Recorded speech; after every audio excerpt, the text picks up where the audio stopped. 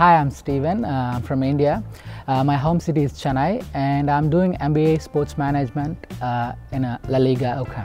Hi, I'm Sajit Udyanga from Sri Lanka. Uh, I'm doing here my ma official masters in high performance strength and conditioning.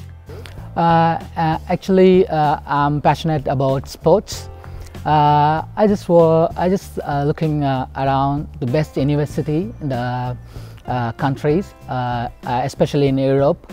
Uh, I found uh, UCAM. They are tied with uh, the big brand, uh, the big uh, Spanish league La Liga. So I choose.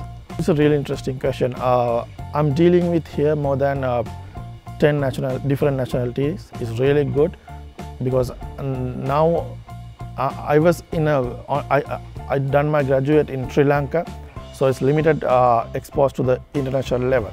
But now what I'm dealing with, I'm dealing with international culture and different level of students. So it's really interesting to me to get the contacts between each other and learn how the world is world is going on.